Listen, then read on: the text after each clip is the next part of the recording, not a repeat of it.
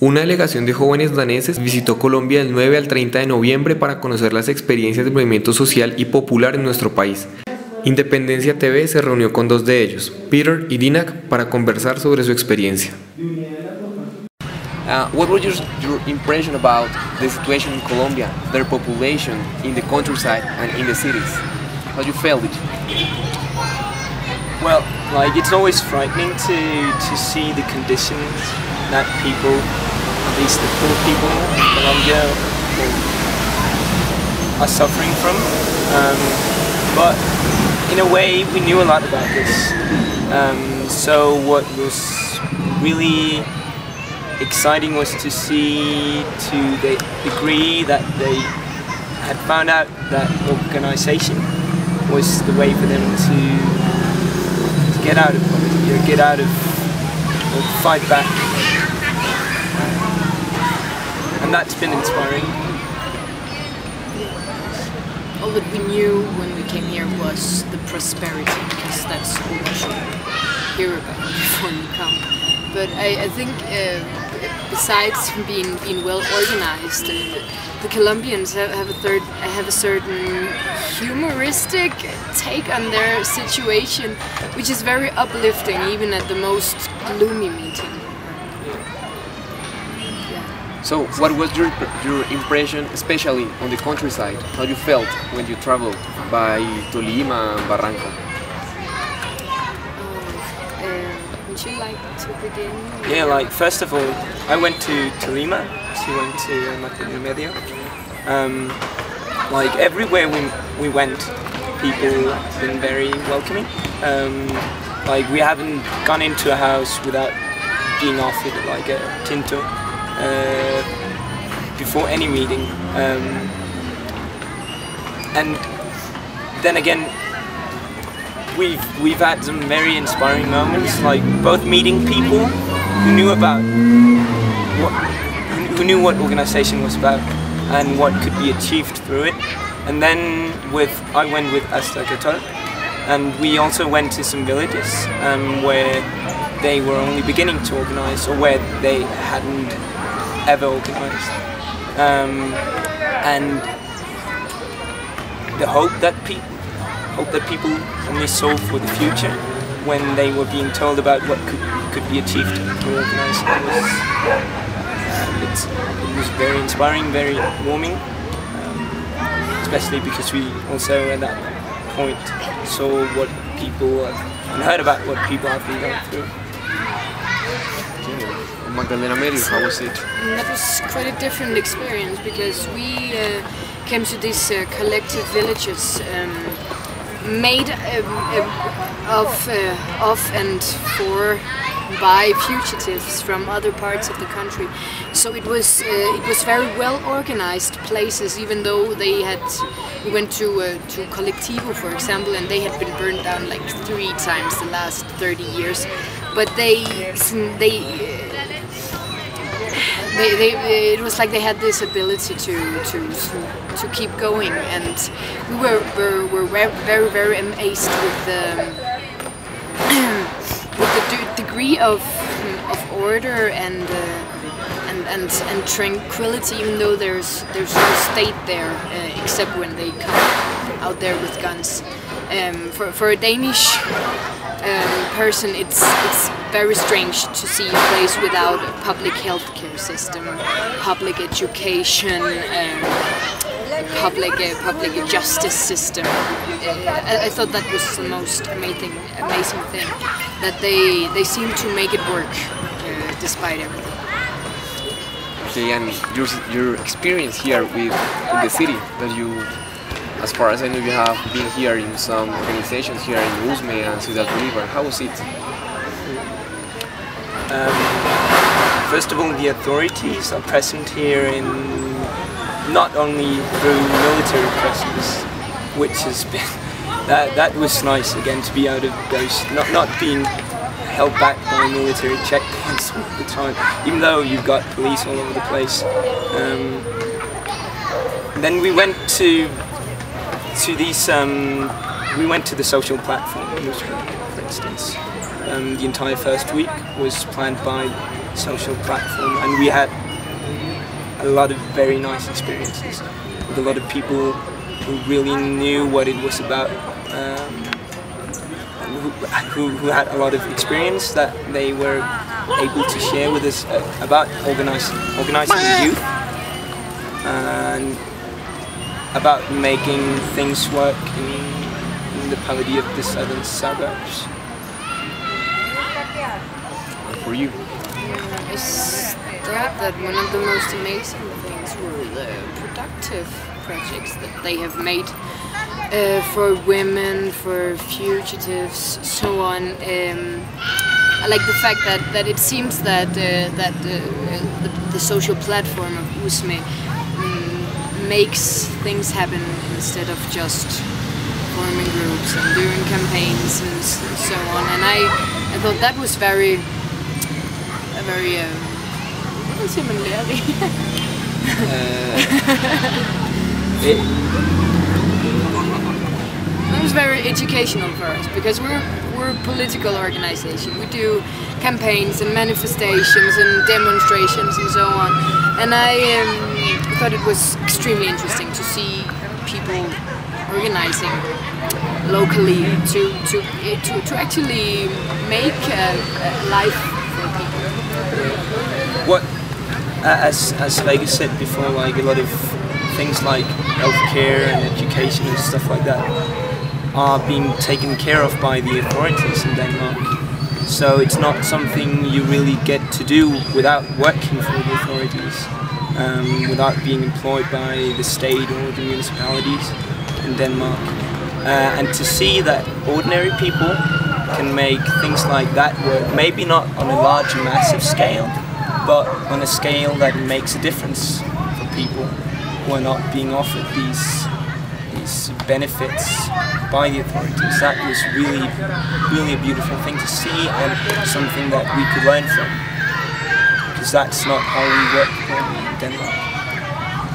again, from your point of view, how is how you saw the organiz- the youth, the organization of the youngness here? How was it? The experience? Because one of the things that we have known from other people that have come here, they are like kind of pressed for the number of young of young people that is working here. Uh, how do you feel it? How do you see it as being young people to coming to us to know our experience and sharing experience? Um, people here have like seemed, or young people seem to be quite mature, and the people we've been working with especially like and, and aware of their obligations because they've seen their parents' generation, a lot of them being killed um, in the past, and they seem to be aware that it's up to them now to like grasp the chance and go for making a better future. Um, so they've been quite enthusiastic about it, especially because they've made a lot of projects that actually work. And back in Denmark, like we may do like a lot of big campaigns um, without like any of those small objectives, like making um, like uh, a small healthcare center. Um, that would really give us the success that and a momentum for the movement. So that was my like maturity. It would be overall. Yeah, I thought it was their their glow and their belief in, in changing this country and changing the world. Because as I perceive my own generation in Denmark, they're they, they, they, they don't really believe in, in making a, a difference and making things different. So I think that has been amazing to meet people who actually thought that that there was something to do and, and that it was possible to, to make another world. Okay, and especially about the um, students movement that you have met here.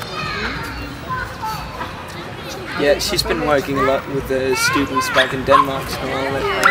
Uh, oh, I, I think that the Danish students' movements have a lot more uh, formal um, ah, influence.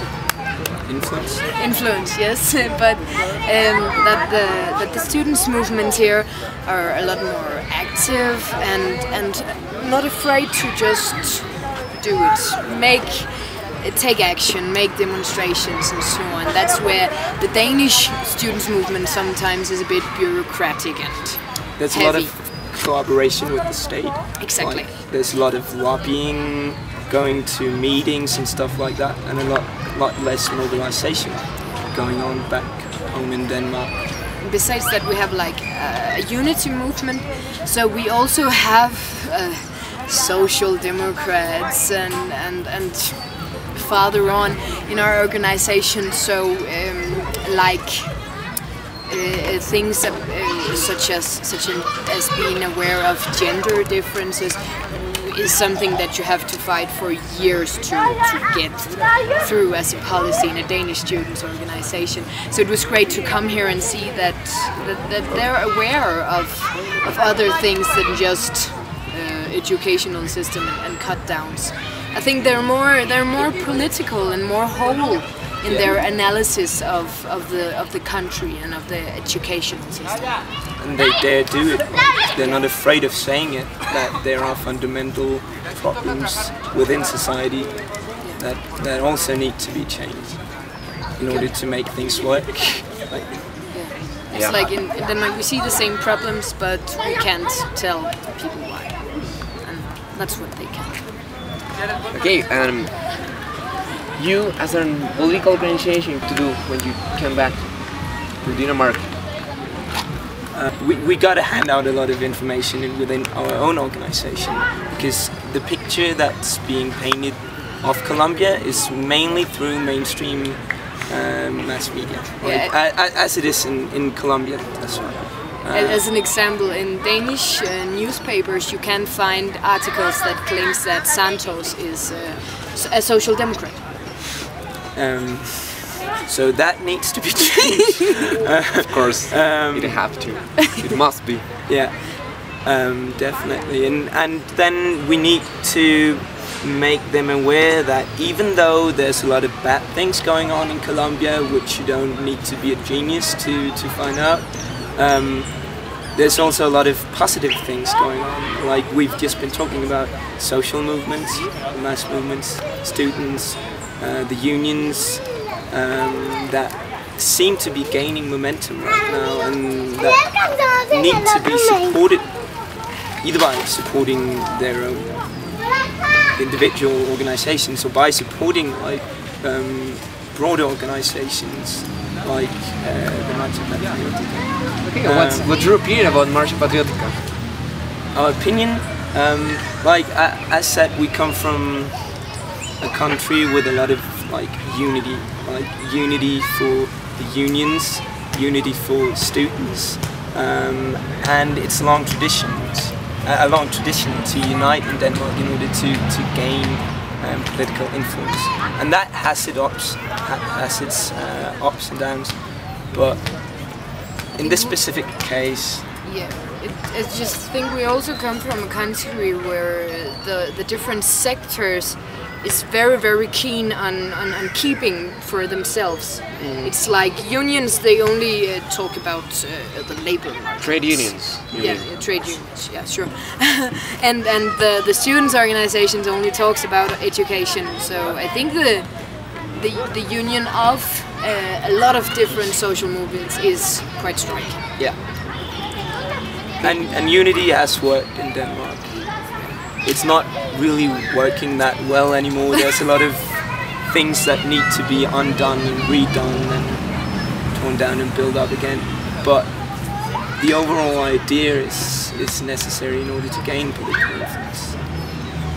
Okay, and as far as I have seen, you have like a good um, perspective about how is the our government of Santos and the perspective of the social movement, and about the guerrillas here, about the peace dialogues. What are you expecting? What What do you think about it? Do you think it's going to work? And if it is going to work, how it should be? What we could follow, and especially as the um, social movements and organizations. I think that the most important things that I have learned in Colombia is that peace can't be obtained by soldiers drinking coffee and talking to each other. That's uh, um, that peace will not come to Colombia if if the problem of the massive inequality isn't solved. Um, that would be the first thing.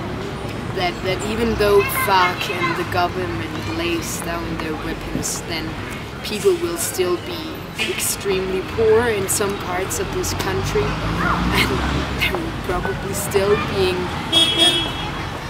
uh, uh, have, have, have, have, have to flee their, their, the way that the, the places that they're born and the places that they live, and so the exploitation will still be massive. yeah. Um, and what's being repeated over and over again by the social movements is that in order for the conflict to end, we need social justice, and I don't think it can be repeated too many times in any way. And that's what we're fighting and hoping for back in Denmark, because we've still got massive problems, and that's what we're hoping for you to achieve down here in Colombia. And that's what we need to tell Denmark also, because I think people think that it's a question of FARC versus the government, and also in Denmark people are very influenced by uh, like the European Union's uh, list of, of terrorist organization where FARC is on. So it's very like, yeah, we're hoping for the Colombian government to, yeah, achieve peace. Yeah. It's ridiculous. And what needs to be told is also that there's not social inequality and economical inequality because of the conflict, but that the conflict mainly grows out of those problems. There's a reason for it. It's not, not to justify uh, war, but there's a reason for it. Okay, thank you very much. I think that's all about the interview.